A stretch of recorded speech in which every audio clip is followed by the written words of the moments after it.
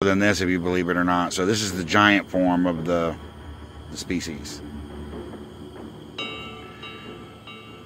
Drosera dichotoma or Binata. We're not too sure yet. We went ahead and tagged it as a dichotoma, but we're going to keep an eye on it. It could be a multifida. We're not 100% sure. It was growing in with the Nepenthes. I mean, uh, the Sarracenia. So we plucked it out and put it in its own pot. We're going to let it grow and we're going to see what it does. Behind it is a 100% confirmed dichotoma, and that's where all these long arms are coming from.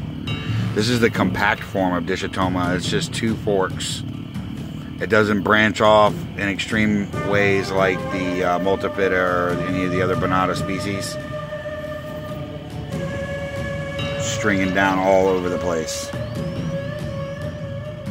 Got another one right here getting ready to open. And it's got a lot of utricularia in there with it.